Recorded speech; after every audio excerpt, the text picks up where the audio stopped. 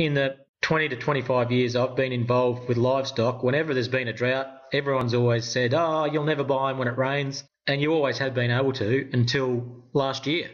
That, you know, you've always been able, you had to pay a bit more, sure, but there was always animals around. And we probably sold 4,000 ewes during that dry period. We had an existing feedlotting situation where we were using a grain based system with a buffer pellet and some hay. Dorpers, maybe I'm not very good at it, but Dorpers are pretty hard to induct, we find, especially considering they were coming from out west and they had no grain imprinting in them.